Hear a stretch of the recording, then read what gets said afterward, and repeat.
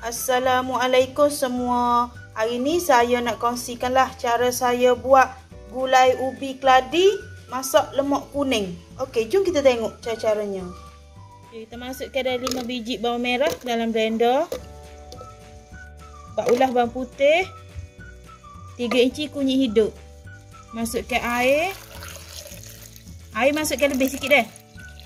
Lepas tu kisar sehingga halus ke semua bahan. Kita nak masukkan bahan yang kita kisar tadi.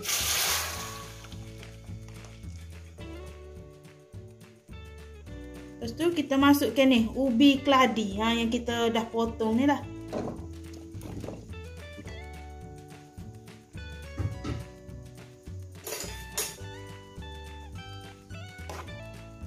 Kita kacau. Kita bagi ubi keladi kita ni dia empuk.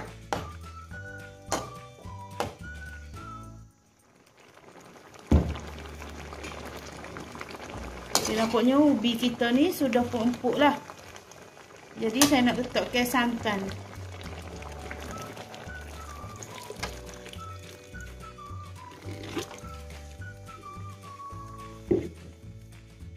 Lepas tu kita letakkan satu keping asal keping. Kacau, kita bagi sate kita tu mendidih pula.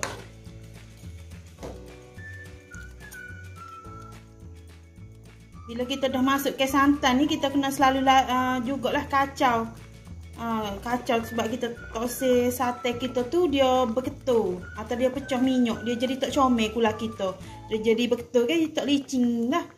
Lepas tu saya nak bagi yang kata kuah kita ni dia sedikit pekat lagi deh. Ha, sebab ni dia cair. Sebab saya banyak masuk ke air masuk kita blend uh, bawang tadi sebab nak puk ke uh, umpuk ke ubi ni.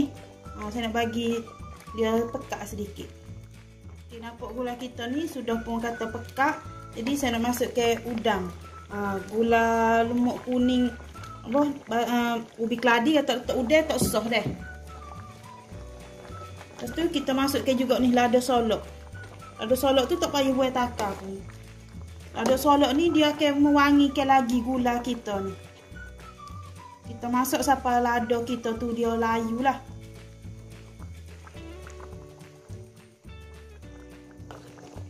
Okay, nampaknya sudah uh, telada kita ni sudah pulayu lah.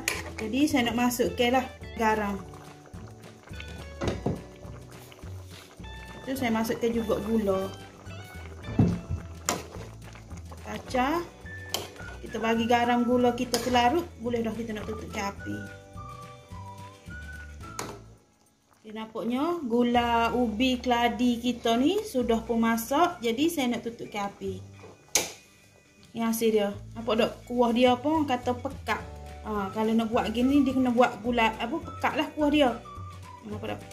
Lepas tu bau ubi keladi tu sangat sedap dah. Dia bau lemuk ubi tu memang padu lah. Ha, memang orang kata nyakuk molek makan nasi. Lepas tu satu lagi kalau kita nak letak udang dalam sayur lemuk um, apa ubi keladi ni kita kena letak udang kecil-kecil gini lah. Ha, kalau letak udang besar tu kata dia tak berapa nak sedap. Ha, letak udang kecil-kecil gini dah. Memang sangat-sangat sedap air udang tu dia mani. Okeylah, pada yang dah menonton video saya ni, saya harap jangan lupa subscribe, like, komen dan share video saya. Okey, terima kasih semua.